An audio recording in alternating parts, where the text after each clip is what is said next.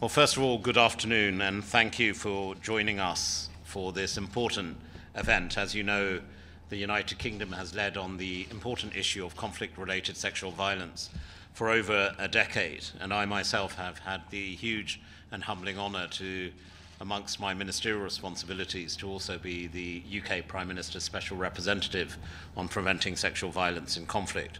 And today's debate again illustrates the collaborative commitment on really standing up to this scourge, this scourge of conflict related sexual violence, which continues regrettably and tragically around the world.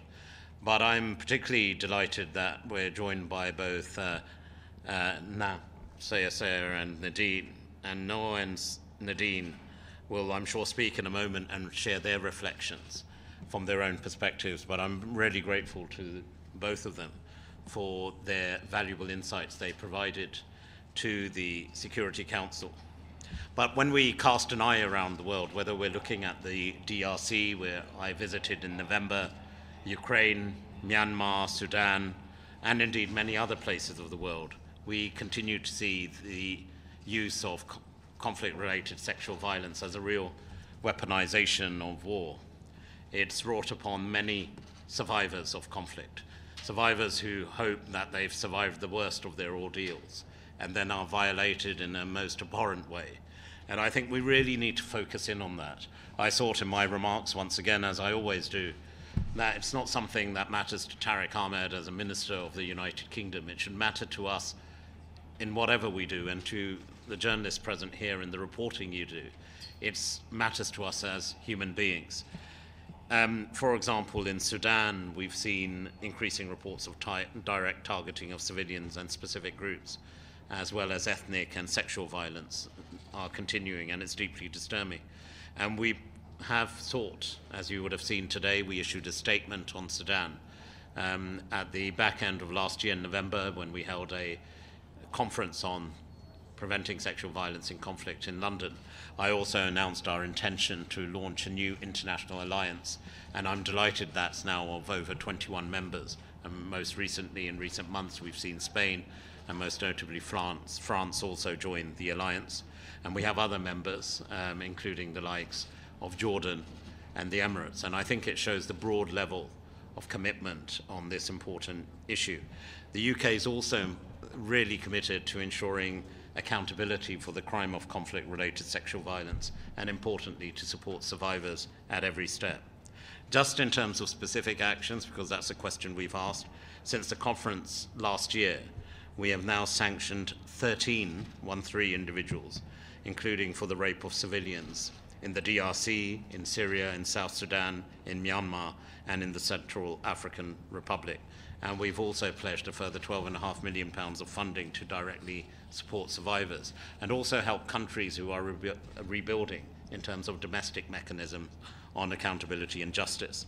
And as many of you know, we're also working on an innovative solution with the International Criminal Court to provide testimony support through creating a virtual reality sense of the courtroom, but really bringing the survivors' voices to the front whilst protecting the survivors' identity and their well being.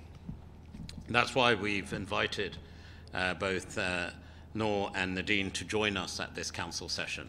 Because whilst we, as ministers, as representatives of our different countries, have strong views on particular conflicts, wars that are ensuing. Most importantly, the United Kingdom committed right at the start of this project to put survivors and survivor voices at the heart of everything we do. And certainly from our perspective in praising Ambassador Woodward and her team here in London who do a sterling job on keeping this at the forefront of the UN agenda, and of course the important role of SRSG Patten over a number of years. Indeed, I took up my mandate as a minister and special representative more or less as she took up her mandate. That's important that we continue to provide a core and pivotal platform to the survivors. So, without further ado, and in recognizing some of the work that's been done, one final point I should actually state you, many of you will recall that last year at the Security Council, we launched with, again, another amazing advocate and survivor herself, Nadia Murad, the Murad Code on ensuring survivors' testimonies are protected. And I've often said that we should be action orientated. And this year, working with the Mukwege Foundation. I'm delighted we we've launched the legal guidebook, which is for states to utilize directly to help them through shared experiences of how they can strengthen their own structures and systems. Without further ado, if I may, I'm going to hand over to both uh, Noor and Nadine.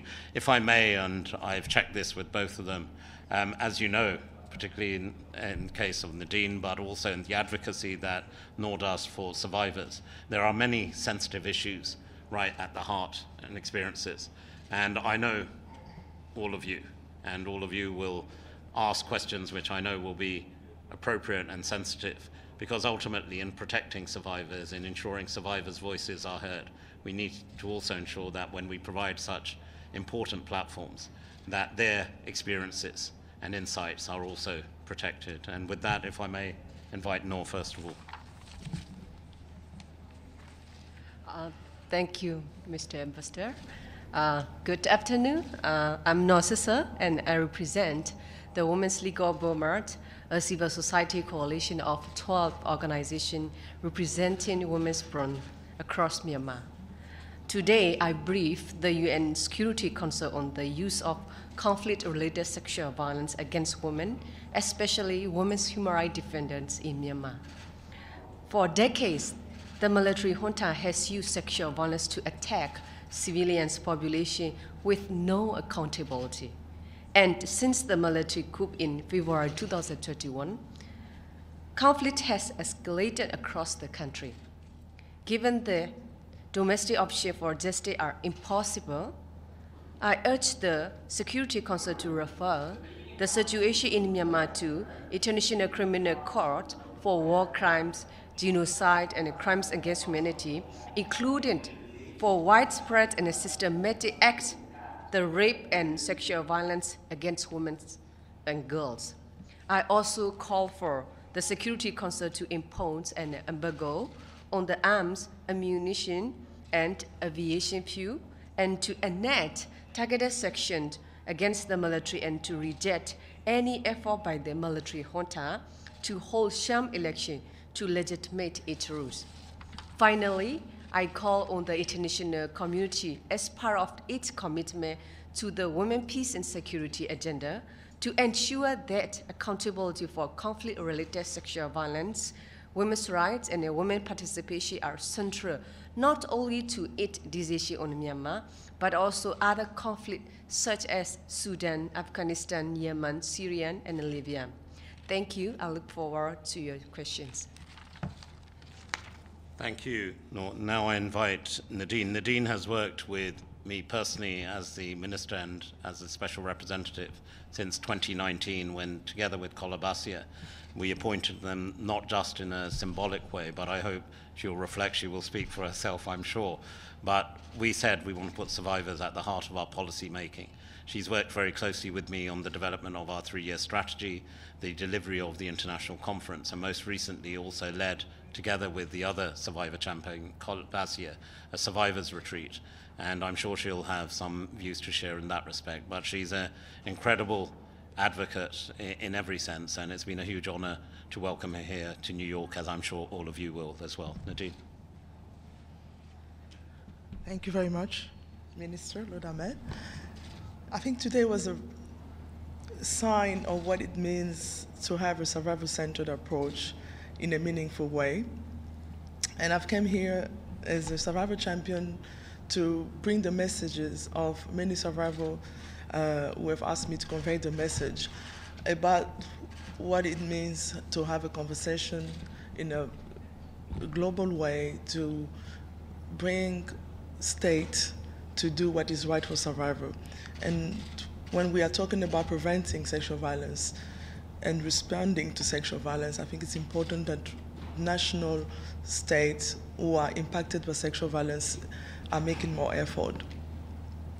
And I wanted to highlight the challenges the survivors have. And I think it's also important that we understand that just because the war has stopped doesn't mean that survivors are no longer living in conflict. And for many of us, the war doesn't stop when the bullet have stopped, because survivors do through a lot of issues, including stigma. And the rejection from the community and also having to deal with the injury that they have gone through because of sexual violence. I think it's important that we're keeping this conversation going on at the global level because without a global conversation, we cannot address the issue properly. So Survivor are very grateful that the international community is gathering and really allowing the space for a survival-centered approach and allowing myself to be here and to speak on behalf of so many others who are part of um, uh, a survivor advisory group that is working very closely with the minister and we're very grateful for the UK government in understanding the survival-centered approach not only working the talk, but also putting into practice what it means to work and engage with survivors. I really hope for more opportunity, for more survivors to engage, and more survivors to be able to brief the international community about what it's going to take to bring the conversation forward, first of all, to prevent, but also to respond in uh, conflict-related sexual violence manners. Thank you. Thank you. Really over to you um, for any questions, please. We'll, we'll Shall I go? Yes, Okay, go. Um, Thank you very much. Uh, Edith Lederer from the Associated Press. Every year, we see the number of cases of conflict-related sexual violence going up, more conflicts, and we see governments and armed groups doing virtually nothing to stop it.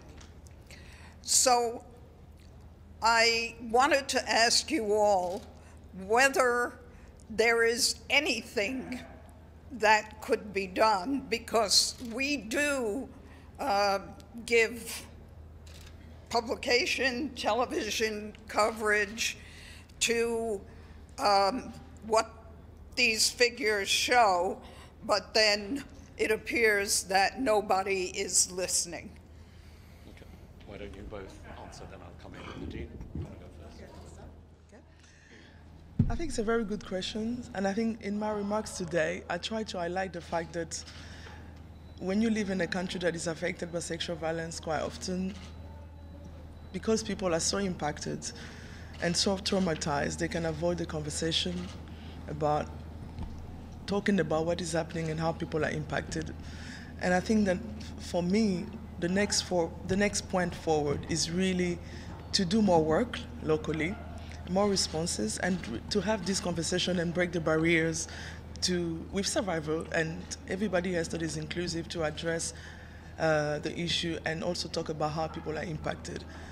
Because what has happened is sometimes the leaders have decided to watch and do nothing.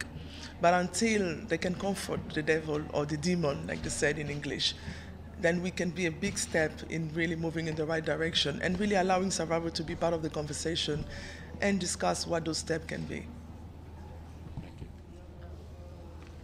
Uh, if I may add a little bit uh, the context of Myanmar, um, uh, as I mentioned in the uh, briefing, so domestic option for justice it's impossible, and that this also uh, international responsibility and accountability. They had adopt the T25, AT20 to address each government to address, and as an international community also has responsible to accountable and uh, responsible and accountability on it as well. So that's why uh, we call as Myanmar because we had over seven decades conflict and civil war, and the conflict-related sexual violence has increased and increased. So it's also committed the crimes and uh, committed the international law. So that's why we call international to uh, have more commitment and effective action to take justice and accountability. Thank you. Thank you. The only thing I'd really add is that from a government perspective, or indeed the communities, that we need to take a structured approach. The issue of justice and accountability is very important, but often, as we've seen from the Balkans conflict, there are still uh, cases being brought today, and we're still in sort of triple digit numbers in terms of the survivors who have got any sense of justice. So, in that respect, what I can say is we've worked, I think it was notable last year when we announced the Murad Code. What does that do? It addresses a problem of victims and survivors of conflict related sexual violence, i.e., their testimonies were sometimes had holes blown into it because they weren't held in the right way, the right questions weren't asked, and then they weren't protected to allow for a successful prosecution to take place, number one. Secondly, I mean, with the handbook, we've taken certain steps as state to see how we can share best practice in helping local accountability. So when you look at the current Russia's illegal war on Ukraine, here you have within Ukraine, of course, the country's own government has not collapsed. We're being stood by them very strongly. But we also need to ensure that the accountability and justice mechanisms are supported not tomorrow, but today. And that's why we're working very closely with the uh, Prosecutor General's office in Ukraine. We're working with the ICC to ensure the learnings of conflicts past are really applied to conflicts present to ensure whilst we work on accountability and justice for those of past crimes, we also look at what's happening around the world today. And I think the launch of the International Alliance in ensuring this stays at the forefront. Thank you for the work you do in writing about these issues because it does matter. But ultimately, we've got to strike people's consciences that this is abhorrent. I use the example because I saw it, I felt it, it stays with me, of a young girl of four who had been raped in the DRC. And she sees men as someone who does that, with the exception of her father. That's the challenge we face in various places of the world. And that's why we've all got to stand up states, journalists, communities, civil society organizations to ensure that survivors and their advocacy is not just protected but strengthened. Please. Lord Ahmad, uh, Pramila Patten said in the Council, and I think you echoed it in your remarks, that the singular focus of this Council must be to bridge the gap between resolutions and realities, between our highest aspirations and operations on the ground. The problem, I think, in many conflict zones is that the chain of command is very confusing. If you look at what's happening in Sudan, the, the inability to implement ceasefires was because the chain of command did not wasn't very clear. I think that's echoed in places like the Democratic Republic of the Congo. Uh, Martin Griffiths, for example, talked about 125,000 cases of sexual violence expected in Eastern DRC by the end of this year alone, and that would be an undercount. So, you know, how do you close these gaps? I mean, sanctions, for example, is not justice, right? Well, sanctions is one measure, it's one tool. And is it important? Yes, because it sends a very specific signal that governments states should not just sit back and do nothing. And when I mentioned the 13, it sounds a small number, and it is. But the fact that we've done this, we now have the structures, the systems within governments to take direct again, it sends a very strong signal that actually these crimes will be held, or you will be held accountable for it. Um, so I think there is some work being done. I think what Pramila alluded to also was the importance, yes, that We've had many statements in there. We, we've been looking at this for a very long time. I think Nadine made the point in her contribution that very small number is still being reported. And we've really got to get to the core. What is a survivor's need right at the start? They've been through the worst, worst kind of violation, unspeakable kind of violation against them, is to ensure that immediate support is there. And I think we've got better at that in recognizing that trauma support um, as you would do for any victim of sexual violence domestically, needs to be provided to those in the field when we look at conflict zones. Secondly, how do we do, start building structured support when it comes to them sharing their experience when they're ready? Sometimes it can take a long time that we have the structures and mechanisms ready to support them. I think we have made some move in the right direction there. But ultimately, the whole issue of justice and accountability was the key to unlocking it. It's still taking far too long. That's why, as I said, I think we're building on some of the experiences. Sudan, you used as an example. There, every conflict is different. Sudan is with two generals who have a sheer intent that one believes the other can defeat themselves. And what needs to happen there is, of course, there needs to be a stop stop in the actual conflict itself. We need to ensure whichever states, whichever parties, as part of this global family that is the UN, who has the greatest equity on the ground, that we leverage that fully. It's not always the P5 members, it's not always, um, it may be next door neighbors, it may be regional actors. So we need to get behind that to ensure that the steps and the structure can be put in place to stop the conflict first and foremost. Then we can start looking at these specific issues. Let's not forget what happened in Tigray recently as well. These cannot go and just be hidden conflicts of the past. Accountability and justice, yes, takes a long time, but there's some structured movement we're making in that respect. I don't know if either of you want to add anything? Nadeem? Okay, uh, Yeah. okay. I can. I'll, I'll be brief. I, I, I think impunity, you know, is the reason why many survivors don't come forward to um, to report. I mean, the only way you can encourage or motivate people to report is seeing example of other, you know, perpetrators being um, held accountable of what they've done. I know that we have a long way in reaching justice, but I think we're going somewhere, and we can only hope that. Uh, most, more perpetrators will be held to accountable. And from a survivor perspective, I think it's important that we deliver the justice that is survivor centered. And sometimes what a survivor wants is not to see a perpetrator going to court necessarily. It's about receiving reparation and the suffering that they have endured is being addressed. I think we have to ensure that we have a balance and achieving not only one, but um, uh, the two justice in terms of survivor. Okay, thank you. And just as a final point, we've got items like the Global Survivors Fund, which Dr. Mukwege leads on. Again, phenomenal work in both providing that initial support. So we need to get behind the institution. So in the DRC, I don't know if any of you have, but if you get an opportunity, when you visit the Panzi Hospital, here is a man who could earn millions anywhere across the world. And it is his conviction which puts him in the front line, often at great cost to him. But at the same time, that's why we're really honored and delighted that we built on his advocacy in some of the tools we're providing. Thank you once again. And um, if I may, on your behalf, also acknowledge our courageous contributors today. And we've been really proud as the UK to host them today. Thank you so much.